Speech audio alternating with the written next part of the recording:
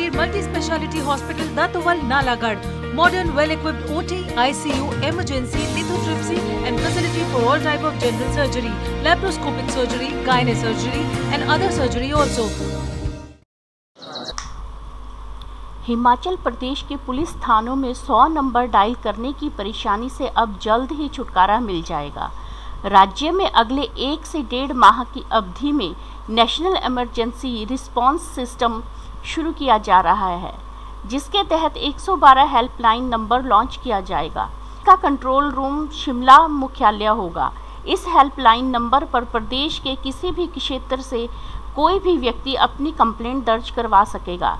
Complaint मिलते ही तत्काल control room में कार्यरत स्टाफ संबंधित थाने को सूचित करेगा और कंप्लेंट पर तत्काल कार्रवाई होगी। इस सहूलियत को शुरू करने वाला हिमाचल देश का पहला राज्य बनने जा रहा है। हिमाचल के एडीजीपी अनुराग गर्ग ने खबर की पुष्टि की है। अनुराग गर्ग के अनुसार कसौली मामले पर कड़ा संज्ञान लेने के बाद डीजीपी की तरफ़ से सभी जिलों को आदेश जारी हुए हैं कि अवैध कब्जे हटाए जाने सहित संवेदनशील मामलों में एडवांस इंटेलिजेंसी की नियुक्ति की जाएगी। इस मौके पर पुलिस अधीक्षक Ashok Kumar ASP Bhagmal IPS professional Vatsala Gupta और घुमारमी के डीएसपी राजेंद्र जसवाल इत्यादि मौजूद रहे। एडीजीपी अनुराग गर्ग ने क्राइम रेट में कमी पर एसपी अशोक कुमार की पीठ थपथपाई और हाल ही में हिमाचल पुलिस ने एक ऐप लॉन्च किया। इसके तहत कोई भी व्यक्ति ऐप के ज़रिए ऑनलाइन एफआईआर की डिटेल प्राप्त कर सकता है।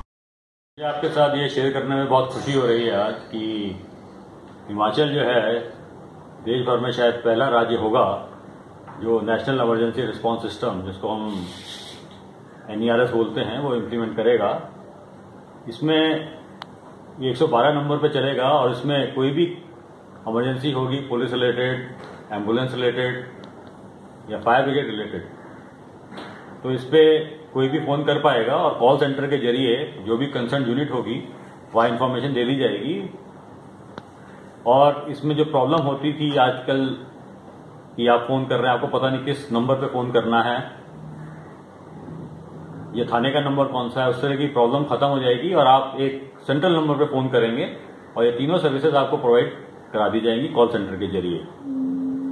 इसमें पहले फ़ेज़ में केवल पुलिस रिलेटेड प्रॉब्लम्स एड्रेस की जाएँगी और उसके बाद सेकेंड फ़ेज़ में फायर ब्रिगेड और हेल्थ सर्विसेज़ को भी इस पर उपलब्ध करा दिया जाएगा।